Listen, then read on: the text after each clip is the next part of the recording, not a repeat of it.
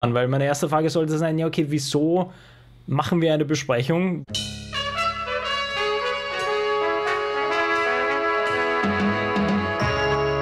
Wir greifen ein äh, durchaus populäres äh, Thema wieder auf, nämlich Teambesprechungen, aber diesmal würden wir zwei relativ spezielle Dinge herauspicken, äh, die du quasi mitnimmst, weil es zwei interessante Erfahrungen gab, die eigentlich sehr gut hineinpassen in ja, alles, was wir bisher über, über quasi Online- und Offline-Teambesprechungen die letzten Wochen besprochen haben. Und äh, die, die zwei Dinge wollen wir aufgreifen. Und äh, da will ich gleich mal übergeben an dich. Du hattest ja quasi einen großen Teamtag äh, im Unternehmen, äh, dass du vielleicht mal darüber beginnst zu erzählen. Ja, sehr gerne. Also wir sind in der Organisation ein bisschen so Matrix organisiert. Also auf der einen Seite in unserer fachlichen Richtung und auf der anderen Seite gibt es dann das, was sie, ich glaube, Feature Teams nennen, also wo sozusagen multiprofessionell aus jedem technischen Fachbereich einer im Team oder mehrere manchmal auch zusammengefasst sind. Und das heißt, dass wir natürlich immer wieder darauf schauen müssen, dass wir uns auch fachlich im Team entsprechend treffen und auch nicht aus den Augen verlieren, weil wir natürlich an einem Gesamten arbeiten und dass da halt auch wichtig ist, dass da Einigkeit herrscht über Vorgehensweise, über Art und Weise, wie man Sachen machen möchte und was die so die Ziele sind. Und darum habe ich mich riesig gefreut, dass wir jetzt wieder äh, einen, einen, großen Teamtag veranstaltet haben, was für uns heißt einfach vor Ort, weil das Team jetzt auch wieder endlich äh, alle da sind. Also wir sind ja bunt gemischt aus vielen Nationalitäten. Und dass jetzt alle in Wien waren, was jetzt mit Corona und so gar nicht so leicht ist immer wieder.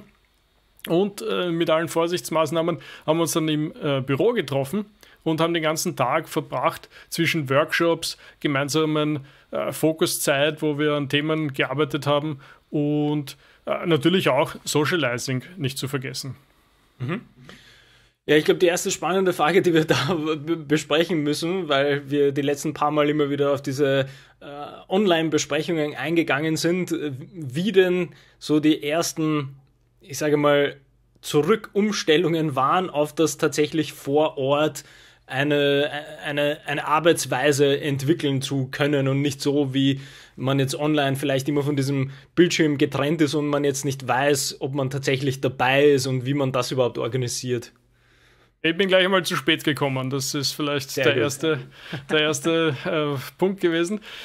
Ganz anders auf einmal, wenn man mit Anreise das Ganze gestaltet. Mhm.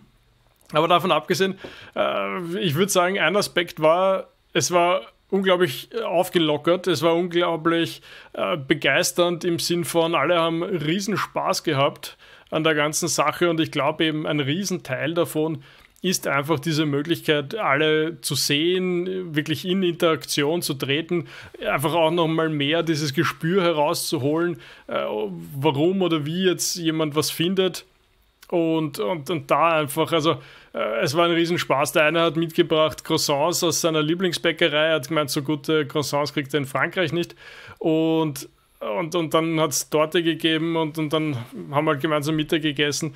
Also von den Rahmenbedingungen her, ja, äh, muss man das, glaube ich, einfach tun. Also so toll Remote-Teams sind und, und so toll ich das finde, einfach in der täglichen Arbeit, weil ich einfach für mich mich konzentrieren kann und, und meinen Tag so gestalten kann, wie ich das gut brauchen kann. Aber wir planen das jetzt monatlich zu machen, eben wegen Lockdown und diversen Dingen war der letzte jetzt schon drei Monate her. Aber mhm. wir hoffen doch, dass in der Zukunft uns das wieder häufiger gelingt und wir das dann wirklich monatlich gestalten können als Fixpunkt, äh, um, um, ja, wie alles schon gesagt, uns nicht aus den Augen zu verlieren, gemeinsam an Themen zu arbeiten und, und das Ganze einfach voranzutreiben. Ja. Mhm. Was ich auch so spannend finde, ist, dass, äh, was wir, glaube ich, das weiß gar nicht, bei, bei der letzten ähm, Folge über, wo es konkret über Besprechungen gegangen ist, wo wir auch dieses Hybrid-Format so ein bisschen erwähnt haben, wo wir dann irgendwie doch festgestellt haben, dass ja das Hybrid oder sagen wir so, die, die Sinnhaftigkeit sozusagen, wenn man das sehr weit nimmt von Hybrid, hängt halt immer davon ab, was man tatsächlich in dieser Besprechung konkret machen muss oder möchte oder dort rausbekommen will. Weil, wenn ich jetzt zurückdenke an ähm, deine Beschreibung von dem Teamtag vor Ort und was ihr alles an unterschiedlichen, sag ich mal, Arbeitsabschnitten hattet, dann ist das ja ein also es ist ja ein Riesenvorteil, da vor Ort zu sein, natürlich, ja, weil es ist ja eine ganz andere Geschichte, wie du es jetzt auch schon erwähnt hast. Es ist ein ganz anderes, äh, so ein zwischenmenschliches Gefühl, das man entwickeln kann, wenn man im gleichen Raum sitzt und vielleicht gemeinsam brainstormt, vielleicht dann äh, eben aus der Körpersprache mehr ablesen kann, wenn es um schwierige Diskussionen geht und wenn man wirklich etwas weiterbringen möchte. Und wie wir darüber gesprochen haben, war ja Hybrid so eine Sache, das, das hat man in vielen Fällen gemacht, weil man sich irgendwie, soll ich sagen, man hat sich gezwungen gefühlt, die Möglichkeit äh, zu haben, auch wieder vor Ort zu sein. Und ich glaube, was, äh, was da ganz wichtig herauszuholen ist, dass es nie quasi von diesem Zwang abhängen sollte, sondern wie wir es ja auch immer gesagt haben, also das Wesentliche ist beim Design von Besprechungen ist, dass man wirklich im Blick hat, was soll denn dort rauskommen oder was soll dort konkret an Arbeitsformen ähm, gemacht werden. Weil jetzt, während du erzählt hast, habe ich dann mir gedacht, ja, ist eigentlich ganz interessant, weil so ein Teamtag wäre mit den Strukturen einfach ein, ein komplett anderes Ergebnis hybrid, weil eben dann hättest du halt die Hälfte oder sag ich mal fünf Menschen wären in einem Raum, vielleicht im, am gleichen Tisch und dann schaltet man zwei Menschen dazu.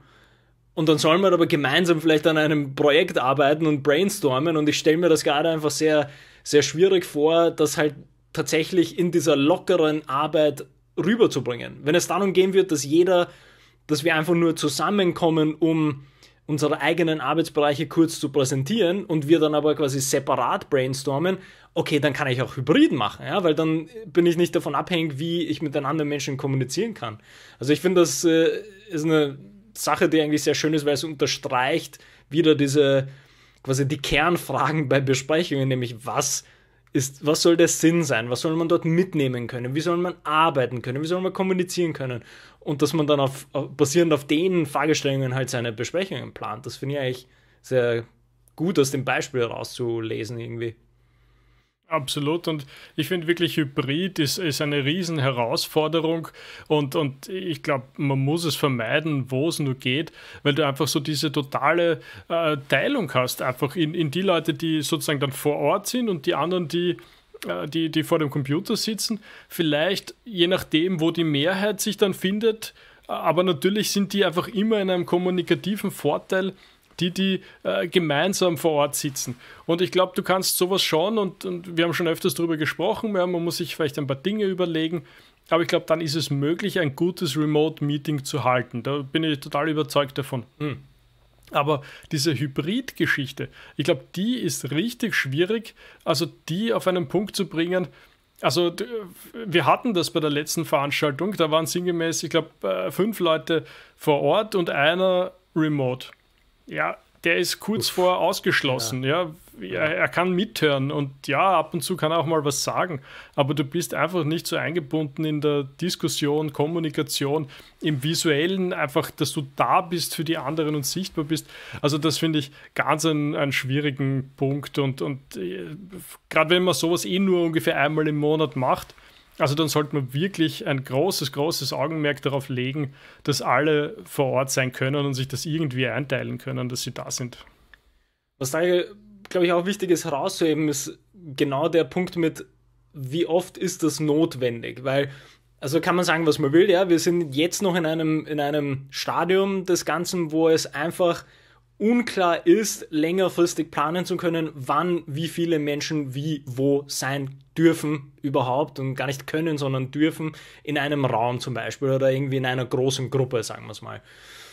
Das heißt, die erste Frage, die man sich ja eben stellen sollte, ist, was wir auch immer sagen, oder was ich jetzt schon ein paar Mal äh, erwähnt habe, ist, dass man tatsächlich in die wirkliche, in die Kernfragen dieser Besprechung, die man plant, äh, hineingeht und überlegt, was ist denn, was soll denn dort rauskommen, was soll denn dort passieren?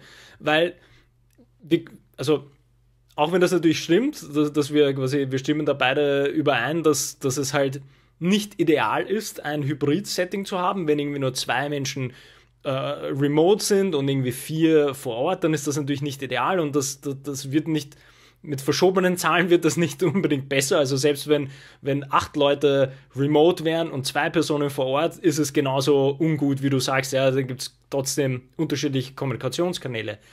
Aber man muss auch gleichzeitig sagen, vielleicht muss man es teilweise machen. Also vielleicht ist es einfach so, dass es, dass es so ist, dass einfach nicht alle Menschen da sein können. Und da, finde ich, kommt aber so eine spannende Geschichte rein, über die wir vielleicht auch nachdenken müssen. Nämlich, wie gehe ich dann tatsächlich mit der Situation um? Also, unabhängig jetzt von der Corona-Situation, es gibt ja mittlerweile überall auf der Welt Remote Teams. Und es gibt aber auch diese Remote-Teams, die halt Hybrid-Teams sind. Also da gibt es ja sehr wohl irgendwie Standorte, wo es einen Hauptstandort gibt, aber Teammitglieder, die woanders sind. Und ich frage mich jetzt gerade die ganze Zeit, ob da nicht, also ob dort tatsächlich immer sinnvolle Besprechungen gemacht werden, um das jetzt mal sehr grob zu sagen, weil, ja, wie, wie du jetzt auch nochmal herausgehoben hast, ja, das ist einfach tricky. Das ist sehr, sehr tricky, dieses Design so hinzubekommen, dass man tatsächlich als Gruppe was schafft. Und ich frage mich eben gerade, wo, ob, das, ob das richtig konzipiert wird in den meisten Fällen oder ob man, so wie wir es auch schon ein paar Mal gesagt haben, ja, ein Surefix, das müssen wir machen und ja, dann machen wir das halt alle zwei Wochen und man überlegt sich nicht wirklich, ob das Sinn macht, es tatsächlich zu machen. Also anders bei einem Teamtag, wenn das monatlich passiert, ist ja, kann ich, habe ich ein bisschen Spielraum.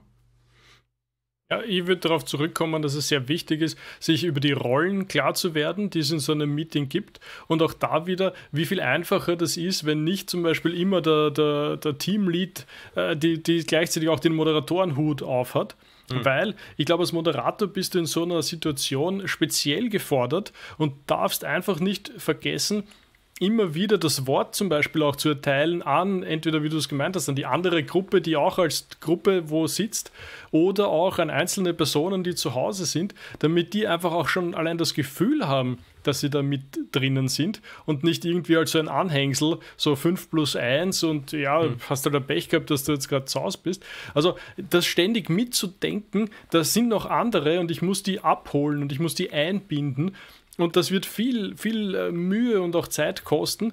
Und ich glaube, eben deswegen wirklich wichtig zu sagen, wer moderiert das und was sind dessen Aufgaben als Moderation. Und äh, ja, jetzt wiederhole ich mich ein bisschen, aber die Auftrennung dieser Rollen einfach klar zu haben und zu sagen, okay, ich bringe da jetzt inhaltliche Themen ein, ich leite den Rahmen in, als Moderator und, und wer andere macht vielleicht nochmal was anderes, weiß man nicht, ja, um das, das halten zu können.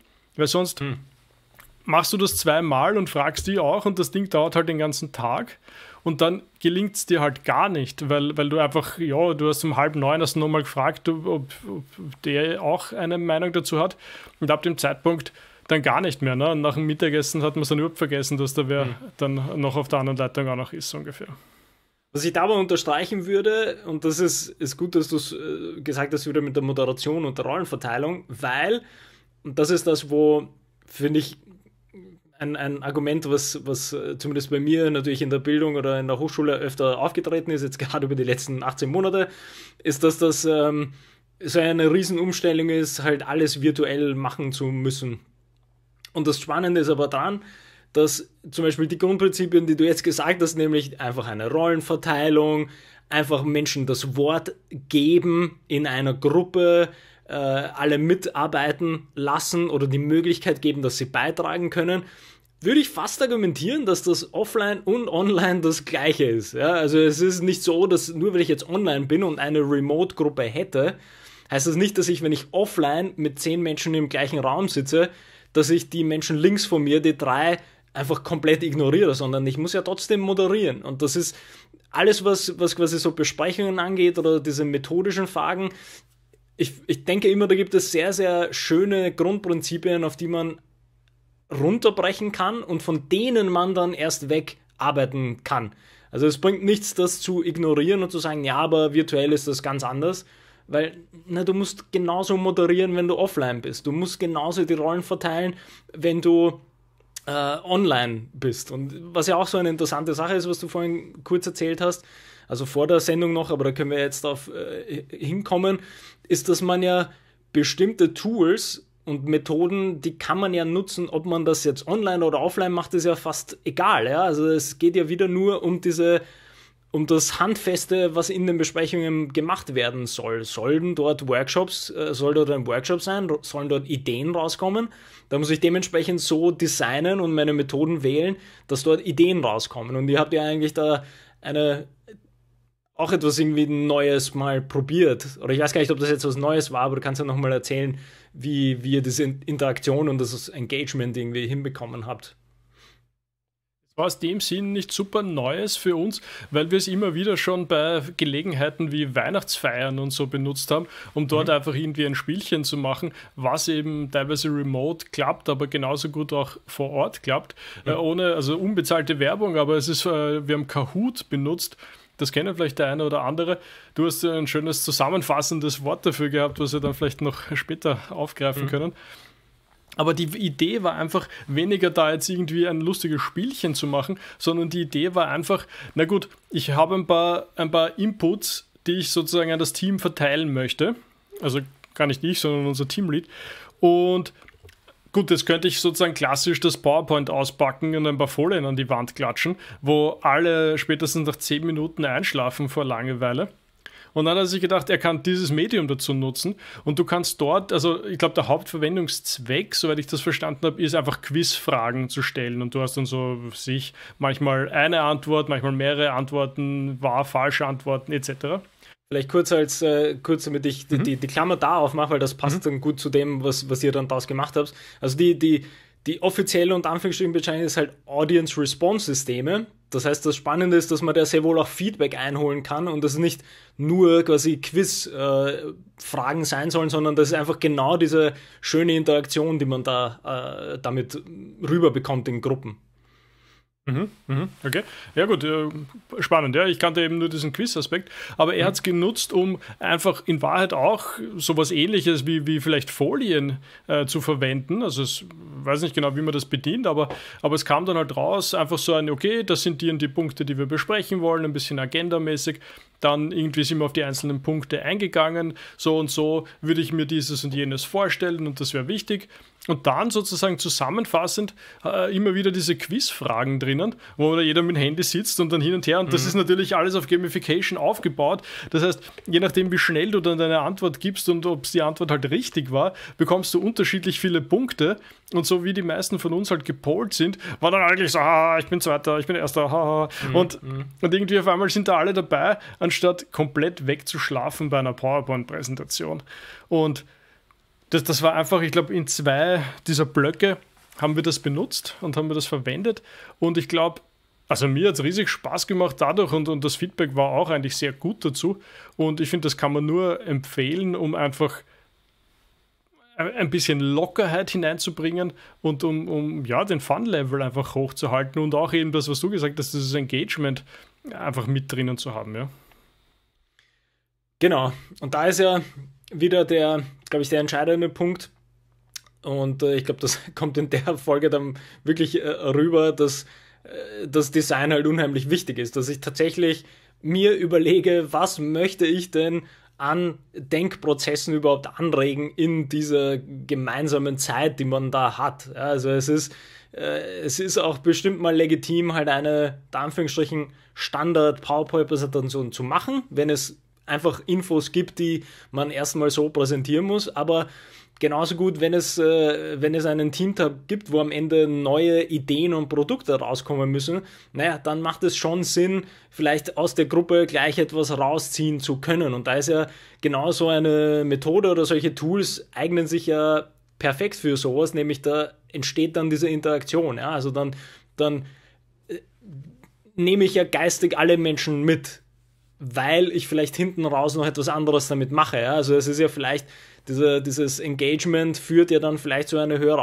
Aufmerksamkeit, damit ich dann zu einem nächsten Programmpunkt kommen kann, wo halt wirklich gefragt ist, aktiv irgendwie teilzunehmen. Und das finde ich eigentlich eine schöne Sache, die, wie gesagt, also die, da kommt man halt nur drauf, wenn man vielleicht sich mal mehr Gedanken darüber gemacht hat, wie denn die Substanz zu einer Besprechung sein soll und nicht einfach nur, ja, wir treffen uns, äh, ja, wir, wir haben eine Liste von fünf Punkten, die besprechen wir und dann gehen wir wieder nach Hause.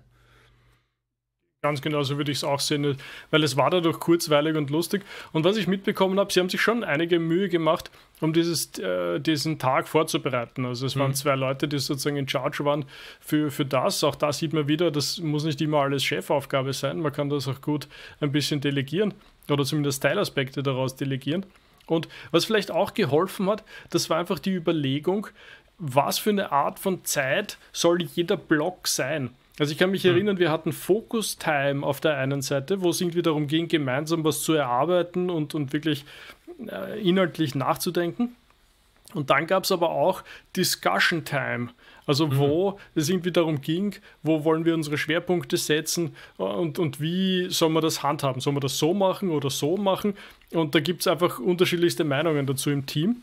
Und es war einfach Zeit dafür, um die auszutauschen, umzusetzen und richtig halt äh, da zu einer ähm, substanziell zu, zu einem Ergebnis zu kommen mhm. und nicht einfach irgendwie einer entscheidet und dann fertig sind wir oder, oder, oder wir gehen raus und wissen es noch immer nicht, wie wir es tun sollen. Und einfach indem man dem Kind dieser Überschrift sozusagen einen Namen gibt und sagt, hey, da ist jetzt eine Stunde, da möchte ich, dass wir das Thema erörtern, dass wir darüber diskutieren, dass wir uns eine Meinung bilden dann machen wir Pause und dann haben wir eine Stunde, wo wir uns intensiv ein Ergebnis haben wollen. Da arbeiten wir an hm. irgendwas Speziellen und da kommt ein Ergebnis raus. Ich finde, da ist für mich der, der absolute Takeaway, dass, das, dass man das idealerweise auf jede Art oder jede Form von Besprechung so machen muss, fast. Ja, weil ich, ich würde das gar nicht jetzt so hoch äh, halten, dass, okay, das ist bei euch ein Teamtag, der jedes Monat geplant ist. Aber genau das sollte einem ja dann zu denken geben bei den unter Anführungsstrichen Standardbesprechungen, die man vielleicht wöchentlich macht. Nämlich, wenn man wöchentlich eine Besprechung hat, oder sagen wir alle zwei Wochen, und die nennen wir jetzt einfach Schurfix, oder ist ja vollkommen egal, wie das heißt, in den einzelnen Teams man muss sich mal die Frage stellen, in diesen Besprechungen steckt man dort auch so viel Zeit hinein, wie zum Beispiel nehmen wir eure, euer Team her, das für diese, diesen riesen Teamtag, der jedem, jedes Monat einmal stattfindet, auch so viel Zeit reingesteckt hat.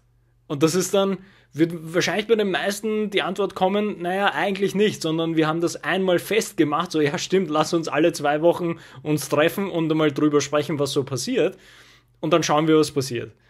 Und selbst wenn ja diese Besprechungen nicht über einen ganzen Tag gehen, ich würde fast argumentieren, dass es proportional nicht mal die Vorbereitungszeit für ein wöchentliches Schulfix gibt bei den meisten Menschen, wie bei eurem Teamtag. Und das ist, ist finde ich, ein bisschen dann irgendwie schwierig, weil dann ist es ja tatsächlich eine fast verschwendete Zeit, nämlich für alle Beteiligten. Äh, was wir ja auch immer sagen, ja, also man muss sich als Führungskraft dann auch überlegen, was möchte ich denn hier rüberbringen in, diese, in dieser Besprechung? Und genauso muss man sich dann äh, in, in, im Kreise der Mitarbeitenden nachdenken, was, wieso sollte ich dorthin gehen? Also es sind, finde ich, diese zwei Fragen, die eigentlich das immer, wie soll ich sagen, bedienen sollten, wie man Besprechungen konzipiert. Und wieder, wenn man einfach nur euren Teamtag als quasi großen Rahmen hernimmt, dann ist ja genau das der Rahmen, wo man alles andere auch drunter bekommt. Nämlich, welche Sessions möchte ich drin haben? Welche Elemente sollen da umgesetzt werden? Was soll das Ergebnis sein? Wie sollen die Menschen kommunizieren? Und so weiter und so fort. Also ich finde das eigentlich eine, also für mich ein super Learning, das quasi auf der Ebene zu sehen, dass es halt einfach dieses schrittweise Aufbauen einer Besprechung ist und halt über reflektieren, was man vielleicht so bisher macht. Ja, es ist vollkommen wieder mal richtig, was du da sagst. Und ich finde es total spannend. Vielleicht noch kurz, ich glaube, ich habe es vorher schon mit dem Mittagessen erwähnt, aber mhm. vielleicht rahmengebend für das Ganze war eben auch noch, klar, wir, wir tun dann natürlich gemeinsam Mittagessen, weil das einfach immer eine wichtige Sache ist. Und den Abend ausklingen lassen, haben wir dann einfach auf, auf den diversen Sofas, was bei uns im, im, im Büro mhm. stehen, mit, mit ähm, ja, dem einen oder anderen Getränk dazu. Und äh, eigentlich war das relativ zeitig aus, aber in Wahrheit sind einige dann doch durchaus länger noch sitzen geblieben. Und, und, und weißt du, man kommt dann die Hälfte der Zeit, da geht es eh über Arbeitsthemen. Ja. Und die andere Zeit äh, davon abgeleitet halt äh, irgendwelche Sachen, die aber einfach wieder so wichtig sind irgendwie als, als äh, gerade wenn man jetzt öfters von zu Hause arbeitet, um da einfach irgendwie dran zu bleiben, um, um äh, zu wissen, was, wie dicken die anderen Leute und eben nicht nur diese ganz schmalen, kurzen Besprechungen, die wir oft haben, wo man irgendwie zack, zack, zack über was redet, okay, passt, danke, tschüss, fertig, äh, um, um einfach die Person dahinter, den Menschen dahinter kennenzulernen und dort wirklich was rauszuholen und einfach da äh, den Mehrwert äh, zu genießen an, an, an all dem, was halt Interaktion ausmacht. Also ich glaube, das ist ganz ein, ein wesentlicher Punkt. Ja, was da, finde ich, so ein, ein, eigentlich ein cooler Punkt ist, den man da so raushört, wo ich dann irgendwie jetzt dann gedacht habe, dass ja vor allem mit diesem Homeoffice und Remote Work und unserem ganzen Mindfulness, worüber wir immer sprechen, und Journaling und halt einfach mehr das Leben sozusagen in diese Arbeit mitzudenken oder umgekehrt, also je nachdem, wie man das definieren möchte, ist das ja genau deswegen nochmal eine doppelte Wichtigkeit dahinter, finde ich, weil angenommen, es wäre quasi das gleiche Szenario gewesen, aber mit nur Remote oder, oder ich sag beides, ja, es wäre einmal Hybrid und einmal nur Remote gewesen, dann wäre einfach dieses soziale Beisammensein wäre in keinem anderen Szenario das gleiche gewesen. Weil mach mal, mach mal ein Remote oder sorry, ein, ein Hybrid soziales Beisammensein. Okay, wie möchtest du, dass die Menschen zu Hause sich dann ihr, ihr Cola, ihr Bier oder ihren Tee machen und dann sollen sie den Laptop nehmen, auf die Couch gehen, damit sie genauso gemütlich sitzen wie vielleicht im Büro oder in einem Restaurant oder, oder wie, wie kommunizierst du dann wieder? Weil dann sitzen ja zwei auf der Couch und zwei bei der Theke und dann ist so, wie, wie nimmst du dann den Laptop mit, dass die Hybridperson kommt? Und das Ganze für Remote gesehen, da geht ja gar nichts. Also dann wollen wir wirklich vor unseren Bildschirmen gemeinsam unseren Tee trinken am Abend. Das macht, glaube ich, keinem wirklich Spaß. Und der, der Punkt, quasi, auf den ich hinaus will, ist ja irgendwie dieser, dieser schöne, dieses, dieses Schöne am Reflektieren und halt wirklich dann alles mitdenken zu können, weil es ist doch ganz anders, am Ende da zu sitzen und vielleicht in sein Journal diesen Tag nochmal zu reviewen und sich zu denken, ja, das war eigentlich echt schön, irgendwie die Personen mal näher kennenzulernen. Wir haben auch über was anderes gesprochen. Der hat mich auf neue Gedanken gebracht und das war nett, mal wegzukommen. Anstatt quasi dann im Journal am Abend irgendwie reinzuschreiben, ja, heute bin ich statt 10 Stunden war ich heute 13 Stunden vor dem Bildschirm, weil wir noch socialized haben online. Und das ist ja aber wieder, das, das ist einfach nicht das Gleiche, was dahinter ist. Und ich finde das so einen wichtigen Punkt, dass man, dass man dieses Soziale tatsächlich mitnimmt, diesen Rahmen setzt. Ich sag mal, das Beste aus der Situation machen. Also, wenn du im totalen Lockdown bist, dann kann auch äh, der, gemeinsame Tee äh, eine nette, eine nette mhm. Erfindung sein. Aber wenn du natürlich die Möglichkeiten hast, das entsprechend äh, auszubauen und, und auszubauen heißt in dem Fall, das vor Ort zu machen und in echt, ja, dann bitte dann nutzt die Möglichkeiten und äh, ja, genieße einfach das, was dabei entsteht und das, was rauskommt. Genau. Ja, ich würde fast sagen, dass das fasst das Ganze zusammen, weil es natürlich immer situationsabhängig ist. Ja, also es ist natürlich klar, dass wir äh, immer davon abhängig sind, was man darf, sozusagen. Aber der Punkt ist, dass einem das nicht davon abhält, es so gut wie möglich zu gestalten. Ich glaube, das ist das Allerwichtigste, was wir äh, immer gerne rüberbringen wollen, ist, dass ob man jetzt nur Hybrid macht, ob man nur Remote oder ob man vor Ort sein kann, man muss aus allen Situationen das Bestmögliche designen oder konzipieren können. Und das ist der Zugang ist der gleiche, auch wenn das Ergebnis dann vielleicht anders ist. Aber wenn man sich dem nicht bewusst wird und mal drüber reflektiert, so ja, stimmt, was möchte ich dann eigentlich von der Besprechung als allererste Frage, dann wird das auch schwierig, weil wenn meine erste Frage ist, na okay, wir machen heute Hybrid, ähm, wie machen wir Hybrid? Dann habe ich schon verloren, weil meine erste Frage sollte sein, ja okay, wieso machen wir eine Besprechung, wo nur die Hälfte da sein kann und die Hälfte nicht?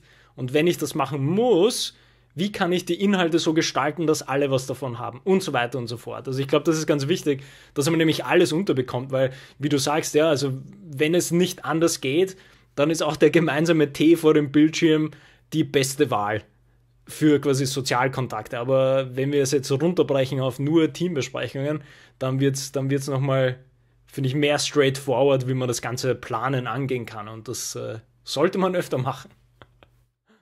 Ja, genau, also es hilft einfach. Nimm dir die Zeit als Führungskraft, nimm dir die Zeit, um einfach darüber nachzudenken, was möchtest du erreichen und, und sei ehrlich und offen dafür, dass die Leute sich, wenn, wenn du das schlecht machst, dann fadisieren sich die Leute in deinen Meetings und denken sich, was mache ich da? Hm. Ja, ich glaube, das muss man sich viel öfters ganz ehrlich eingestehen. Ja, und, und ja, und dann gelingen auch sicher viele Sachen, wenn man sich diese Zeit. Einfach mal diesen, ich sage immer gerne diesen Perspektivenwechsel mal. Setz dich doch mal rein in die Person, die alle zwei Wochen, wie du vorher das Schuhfix skizziert hast, alle zwei Wochen für zwei Stunden in einem Schuhfix sitzt, wo sie geplanterweise, sagen wir mal, fünf Minuten was sagt und den Rest gelangweilt ist, weil, weil dann die anderen Teammitglieder jeweils zehn Minuten dran sind und dann noch ein Frontalvortrag mittels PowerPoint-Präsentation. Dann setz dich doch bitte mal in die, in die Lage rein und überleg, wie spannend so ein Meeting sein kann. Ja. Ich glaube, da ist der, der Schlüssel, den wir noch gar nicht herausgehoben haben, ist halt das Feedback. Also Feedback ist auch in dem Fall unheimlich wichtig, weil vielleicht stößt einen ja zumindest das Feedback auf eine neue Reflexionsebene. Ja, also wir gehen ja immer davon aus, dass vielleicht so eine Grundreflexionsfähigkeit da ist, dass ich selber eben, wie du sagst, ja, diesen, diesen Perspektivenwechsel baue ich ja in meine eigene Reflexion als Führungskraft ein. Wenn ich das aber nicht machen sollte, aus diversen Gründen, dann ist zumindest so der erste Schritt, den ich machen könnte, ist, frag doch bitte alle Teammitglieder, wie, was haben sie da so mitgenommen, was erwarten sie von einer Besprechung, wie hat es ihnen gefallen. Dann komme ich vielleicht auch weiter auf die Ebene mit, ja stimmt, ich sollte vielleicht öfter drüber nachdenken, wie die anderen das sehen. Aber dieser Perspektivenwechsel ist, glaube ich, ein super wichtiger Punkt. Ja. Ja, gut. Fällt mir fast nichts mehr ein. Ich glaube, wir können da an dieser Stelle ähm, den Schluss machen, oder? Sehr gut, ja. Passt. Ja, dann bis zum nächsten Mal. Bis zum nächsten Mal.